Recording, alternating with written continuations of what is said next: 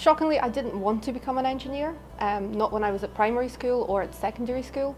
And actually, if it wasn't for my guidance counsellor who suggested I look into engineering in my final year, I wouldn't be where I am today. I think my interest in engineering started when I was a young girl. Don't get me wrong, I loved playing with Barbies, just like most of my friends, but I was a bit of a tomboy as well, and I really enjoyed playing with Legos and cars. I always asked my parents questions like, where does the rainbow come from? And why do airplanes fly? Things like, why is the sea blue?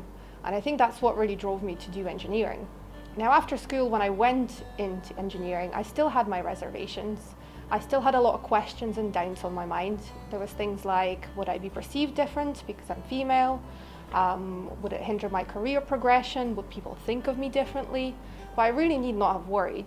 Um, yes, I get the occasional surprised look when I tell people what I do, but really I just might let, let my job do the talking. Uh, my role within SGN is a project manager. I work on steel pipes in the west of Scotland. One of the best things about my job is the versatility. So if you want an interesting, exciting, and certainly different future, ask yourself these questions. When you come across a problem, do you think of all the different ways you can solve it? Is one of your favourite subjects in school maths or maths related? Are you naturally inquisitive? And do you have a good attention to detail? Because if the answer to those questions is yes, you should certainly consider a career in engineering.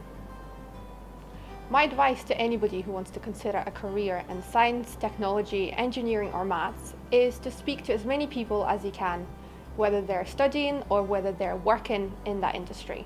Now there's many different ways to get into the field um, I did a degree, some people do an apprenticeship, some people start working on construction sites. So don't be afraid to explore all those options. And the final note that I'd like to say is that it's okay to be different. I felt different for most of my life, I still do. Um, it's okay to have your own individuality and you just gotta trust yourself in the end to make the right decision for yourself.